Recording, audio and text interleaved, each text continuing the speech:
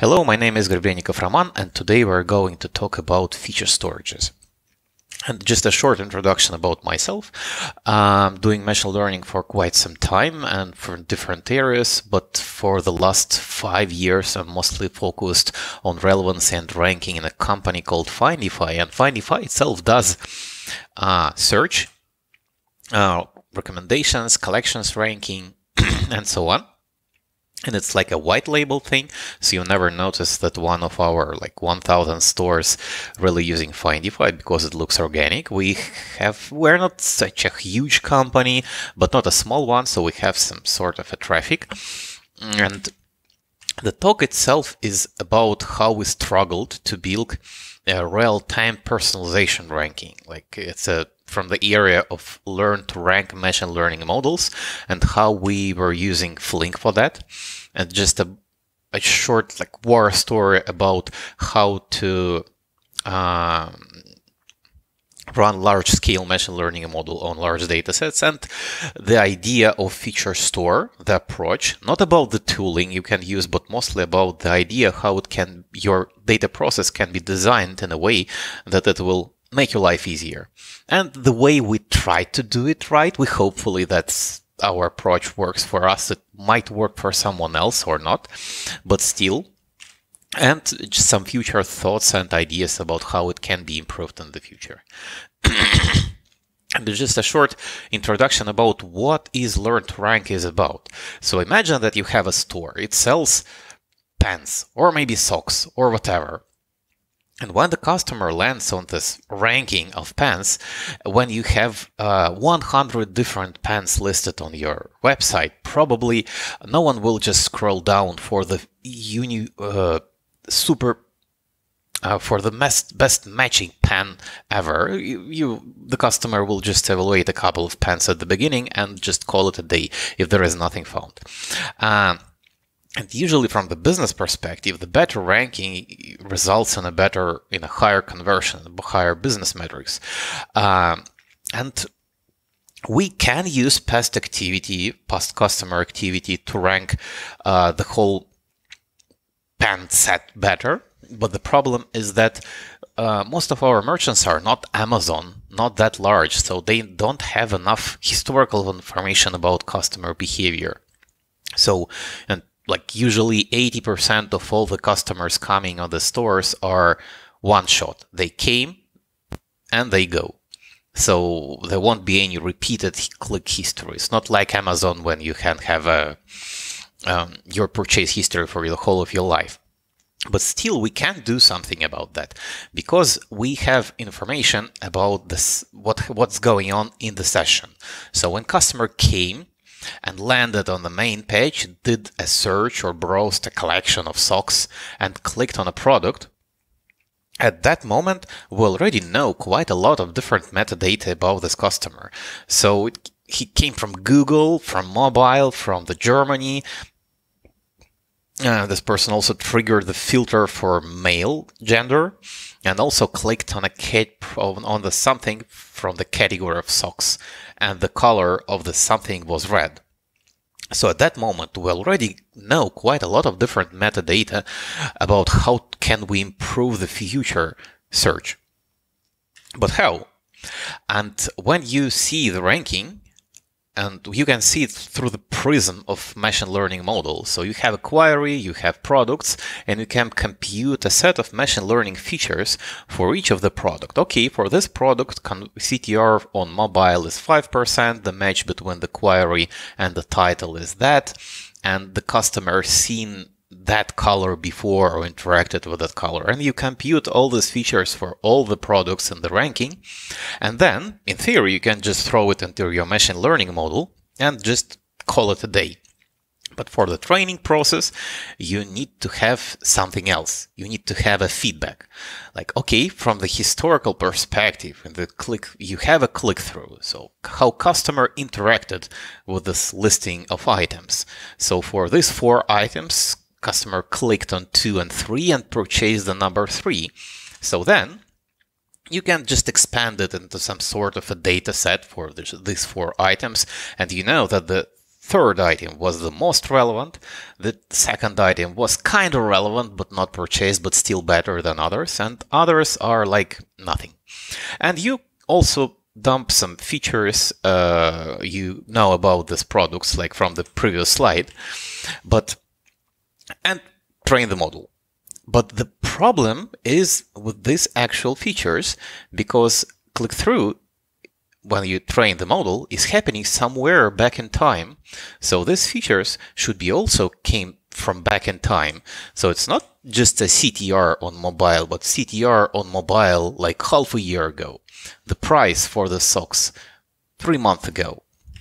And do you need to have some sort of a history of these changes? So it's some sort of point in time feature values, and you connect them to your items in time. Uh, for example, like a product price, you have uh, if you do an inference and you need just the value of the price right now, you can't just go to your operational database and get the price from there. But for offline training, mm, complicated. Usually, just the main approach, the most popular and simple approach of uh, this case when you have different values of your features uh, in time, you can just log them. You just do a feature logging, store it somewhere, and then later just load it from your some sort of a persistent storage from S3 and train your model again. But what, not like this. So you have uh, just a couple of click-throughs time and you just log everything which happened at that time with this price. But what if you need to rebuild a single feature when there are some issues with the data being clean? You found a bug, how do you compute CTR, for example? Or you want to bootstrap a feature when you decided to have something new in your model and you need to historically backfill the whole year of data for this feature for the all click-throughs.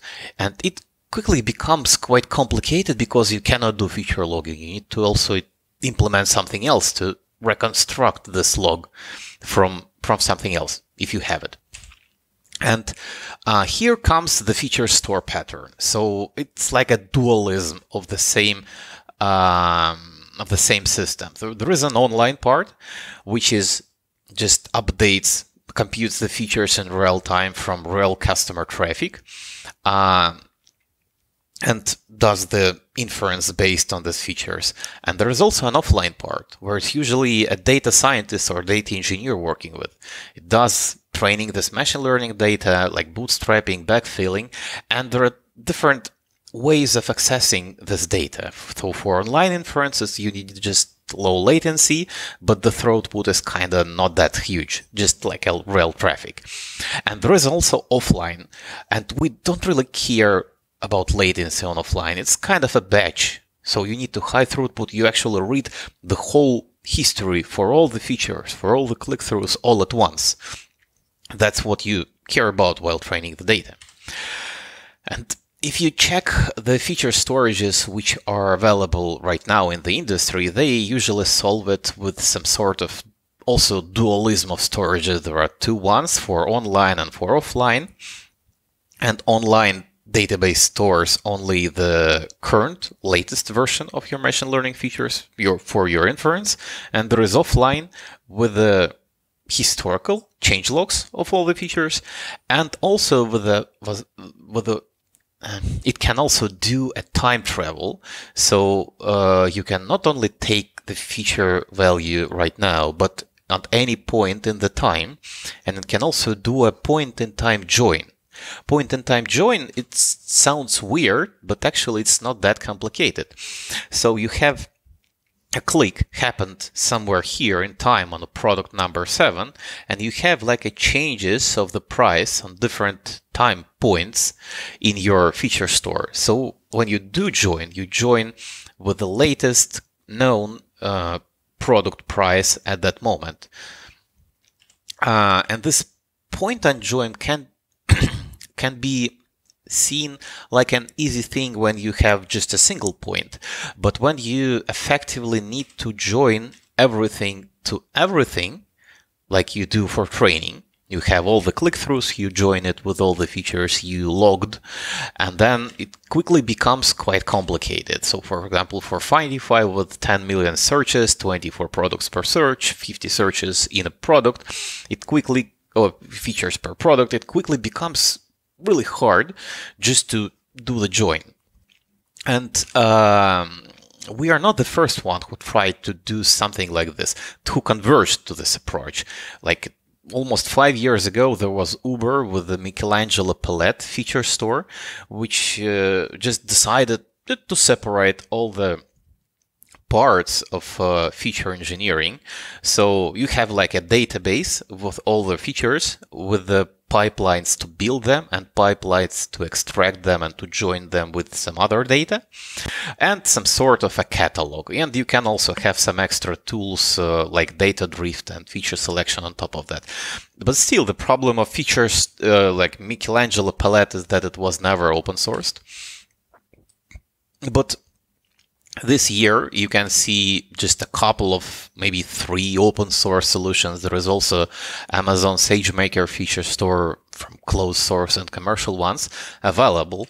And uh, but uh, still when you uh, us start i just personally started asking a couple of people from the across the industry from different companies do they use some sort of feature stores? And they were like uh what is a feature store? And you start describing like, okay, it's dualism offline, online, and joining point and time join. And like, yeah, yeah, we do, but we never know that it's called a feature store. So it's kind of a popular idea in the industry. Uh, jokingly, it can be called like law if your ML system is sufficiently complicated. Probably there is a feature store. You just don't know yet. So if you check out how all these feature stores work, effectively there is just a Python API to access these features in real time, some offline mode, which does this point and time join and time travel and some cataloging functionality. But uh, for us, like for the small company trying to work with the larger data sets, everything was just extremely complicated. So that's a better illustration. And we decided that um, it can be done like easier. So um, we want to have something simple and having no extra dependencies. By like by extra dependencies, I don't mean like a Maven dependencies or uh, pip dependencies from Python, but more like an infrastructural dependencies. So for example, the Hopsworks assumes that you have Hadoop cluster with HDFS with some extra filter from the Hopsworks on top of this HDFS cluster and also NDB cluster at the side, which is possible to install, but still you need to have a team of DevOps engineers to manage it for you, and uh, or you can have pay a company just to manage it for you. The same for Feast, but it's just more about some vendor locky approaches to to the data management. And our cost estimation made it we, we, we got the idea that it's mostly too expensive for us to go with Redshift and DynamoDB, for example, with Feast. And uh, we also observed that uh, the feature types we use at Findify for ranking are not always that simple, but still within the same high-level type. So we rarely use just a scalar numbers or strings, but it mostly something more high-level, like a counter, how many clicks made by a customer, like periodic counter, number of clicks made into some time window, estimate of the frequencies for countries, for example, or for colors, some numerical statistics, for example, percentiles. And the same with bounded lists. So that's what we usually use. And we rarely use just the price. It's more like current price compared to some other prices for the store.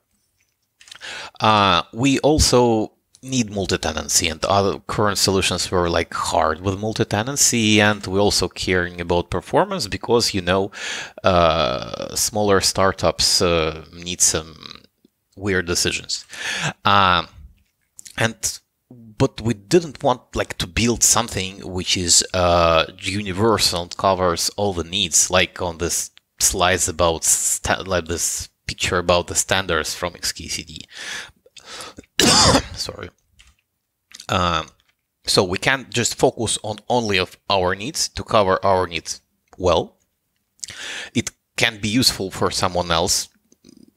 Why not? But it's still like a narrowly focused type of feature store. It can have some sort of a tighter integration with the tools we use. Uh, as we're mostly writing our uh, data pipelines in Scala and on Flink, we can also focus on that. And building something new is always fun. So here comes the Apache Flink. Um, most of the current solutions for feature storages are usually focused either on Spark or have some homegrown solutions how to do this point in time joins and data processing.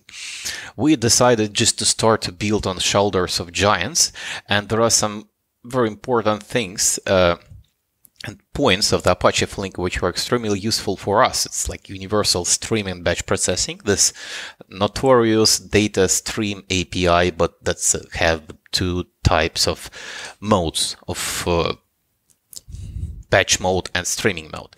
And uh, we can also do all the computations uh, holding all the state inside of the Apache Flink.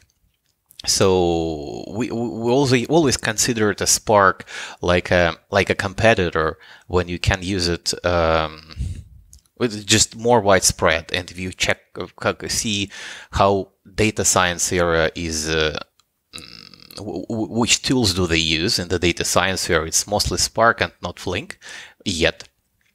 Uh, but still, uh, for our use case, Flink was much better because state, because low latency, and you can do extremely complicated things in just two to three lines of code with like current Flink DSL. And for the unified processing, the same code can be run both on historical data and on the real-time data, but just with a different runtime semantics. But uh, you just do a couple of shots into your have your foot and then understand how it works usually. Uh, so the whole data flow of uh, analytics in in Findify looks very simplified like this. So you have a flow of events like telemetry from customers. We do something here, and we also store some real-time features for our secondary ranking. When we do search, we first generate a list of candidates we want to to, to rank, then ask ranker to do a secondary personalization of the search results and count them back. If you zoom in to, to this Flink analytics thing for um, for the real-time part, you will see that uh, from the feature store perspective, it's actually just transforming a domain events like click, page view, and purchase into some actions like transformations uh, of the features. So if you're count doing, if you're tracking a counter or periodic counter, or just sample sampling strings for the frequency, you just send like an increment event to the feature store, or like okay, sample the string for this. Uh, string frequency distribution or sample this number for the quantile estimator this feature store thing just writes updates the feature state and writes the to the, it's to the change log. And also the same thing goes to the ranker for the real-time uh, for the real-time ranking. So um, if you see how it works from another perspective when you need to bootstrap a new feature it also looks like this uh, looks the same but you just wire things completely differently, uh, but the blocks are still the same. So instead of the real-time traffic, you have a traffic log with the same domain events coming. You transform them into some operations on the feature store. They are applied and generated into the change log on some persistent storage. For our use case, it's just S3 files, so nothing, nothing fancy. Uh, and for offline training, it also gluing the same components together again in just a different direction. So we have a traffic log, but instead of generating these operations on the feature store, you already have them here. So you don't need to build. you make click-throughs, like just joining searches, clicks, and purchases into a click-through. And then these click-throughs are being point in time joined with these features. And then you just have your training data set at the end, nothing fancy. And you just throw it somewhere like for XGBoost or whatever. And uh, that's literally the whole feature store. So it's have the same dualism of online and offline part for, the same code running both offline and offline. And the historical, this feature value change log is the thing which connects them. But you might wonder, and okay, where is the feature store here? If like if you check the diagram of Hopsworks solution or Feast solution, you will see that just different services depending on different uh, databases and replication and and so on and so forth. For our use case, there's yeah, actually there is no product, no service and the whole feature store is just a glorified feature value changelog. And it, this changelog can be read from two different directions for the last version, for the like low latency in machine learning inference, and uh, off for offline processing for this point in time join. And that's literally the whole feature store. So the feature store which we are currently using and developing is can be called like a low code do it yourself uh, feature store because it just takes some data structures in like protobufs so it's just operations on the feature store increment sample append to a list or whatever and it outputs protobufs like daily counts like estimations quantiles top n estimations and that's all uh, there is also two functions for the Flink, the whole, like to do the feature update logic. So you map the input to output and the function to do a point in time join with your domain click-through event. Uh, this thing is actually open source and uh, there are even some docs and the examples how to run this thing. It doesn't really looks like a real feature store because it's just a couple of functions which are useful within the Flink to build your own feature store with your own input and output and the way to store the features because it's just built on the shoulders of giants.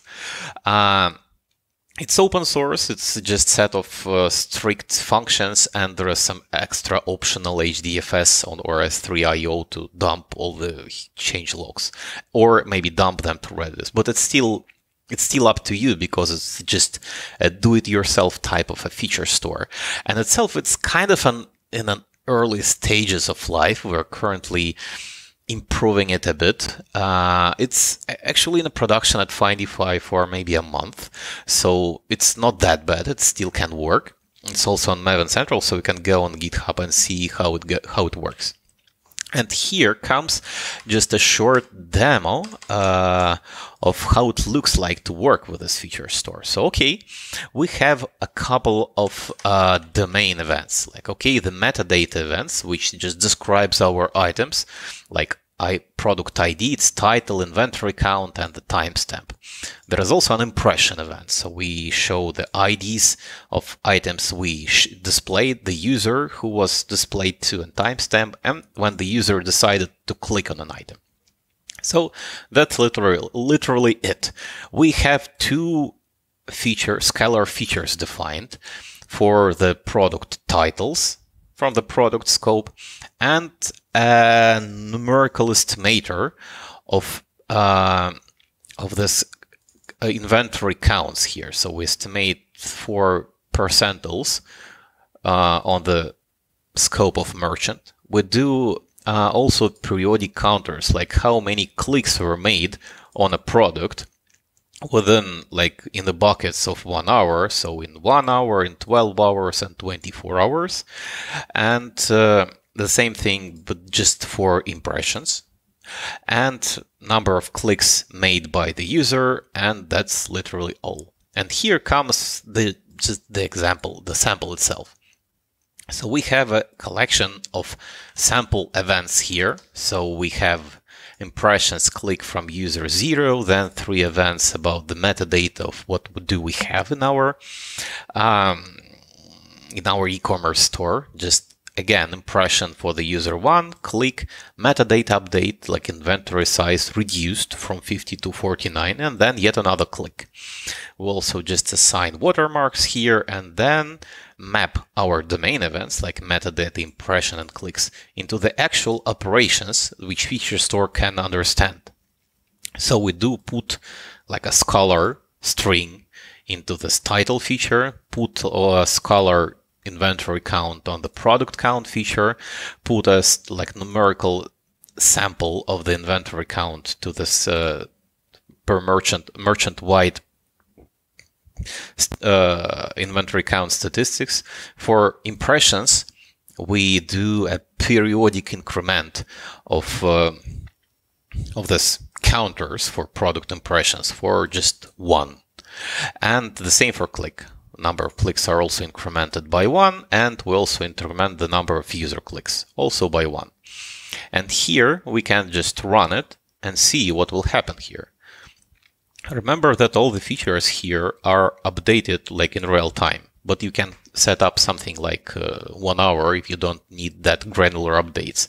And here in for the feature list thing, we see the all our feature value change logs. So for example, here comes the statistics of inventory counts with all the percentiles being updated on each events coming in, which is nice. So it's just our feature change log.